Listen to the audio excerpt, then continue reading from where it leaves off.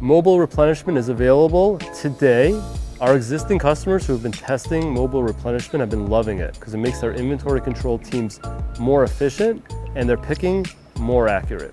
What is mobile replenishment? Replenishment is the act of taking products that are in overstock and moving them to a pickable location.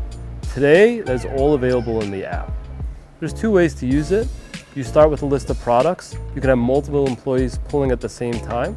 Employee sees a list of products, replenishes either one product from overstock straight to a pickable shelf, or picks multiple products from overstock, puts them on a cart or a pallet.